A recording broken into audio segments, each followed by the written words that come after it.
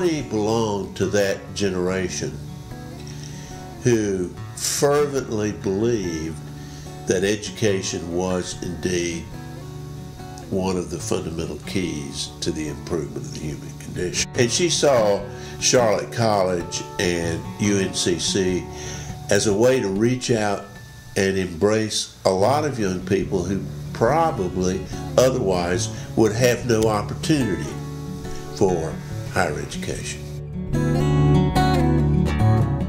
Even before the buildings were built, I went to a, uh, Bonnie called and invited me as a reporter to come to a little dinner that was going to be held on the campus in a barn. It was going to be a picnic dinner, and they were going to have music, and the students were going to be there, and this was a kind of uh, opening of the new campus. And I went. It was a wonderful evening. And Bonnie stood there and looked out over the land from that second floor loft and pointed out where things were going to be. Here's where we're going to have the student union, and here's where we're going to have the academic center, and here's where we're going to have the athletic fields, and here's where we're going to have. One day we're going to have a medical school, and one day we're going to have, you know, she just envisioned that thing. You couldn't be in Miss Cone's presence without realizing, number one, what she had done, and and uh, and, and what her her ultimate vision was, and she was consumed with it.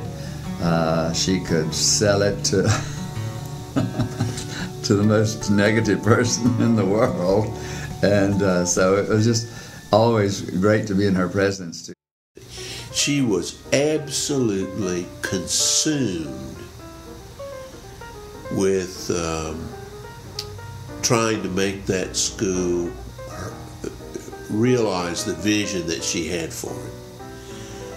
And anybody or anything that would aid that process, she would obviously do everything in her powers of cajolery to win it over.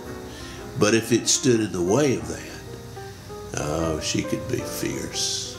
And, and I did I did see that thing. Well, Bonnie was always um, she was leading, and she was always pestering these business leaders to do more, give us more money, and do this and do that. And, you know, and it's hard to say no to Bonnie, which you find out pretty quickly. Bonnie's one of the most positive people you would ever meet. Um, she's very smart. She's brilliant. Uh, she's charming. She can talk to anybody at any level and be at ease and put you at ease.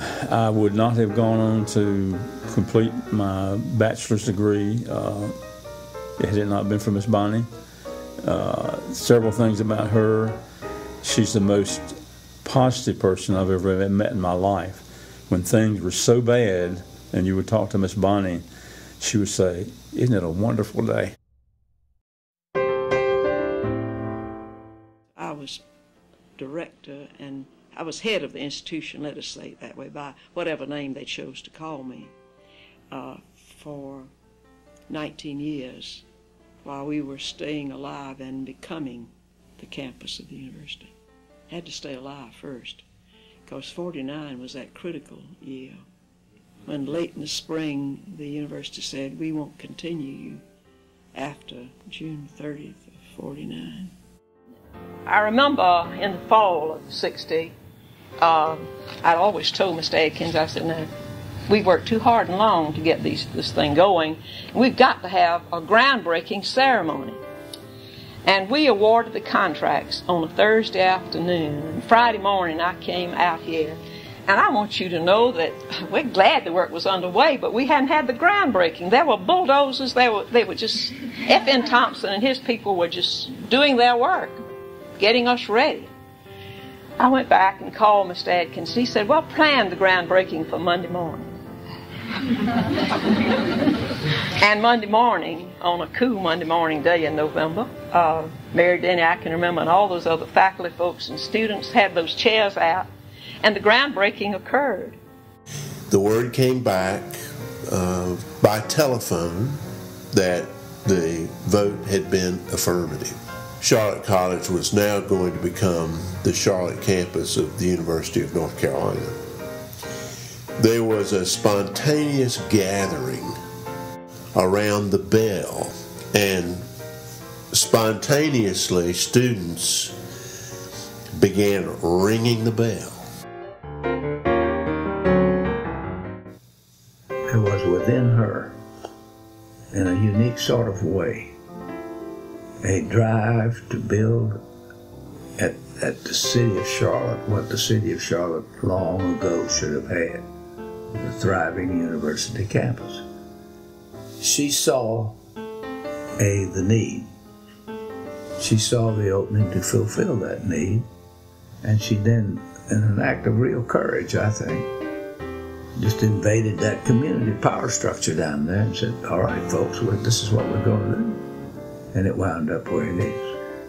Now, what greater legacy could you give to the state than that? And uh, we all do things on the way to a journey's end. But the important point is what was the motivation that kept you going? What kept her heart so throbbing to do this? It was the fact that she knew what it would do for children who didn't know themselves and would never know but for that place. So that's, that's what you have to write on the plaque when you write about Bonnie complete, total dedication.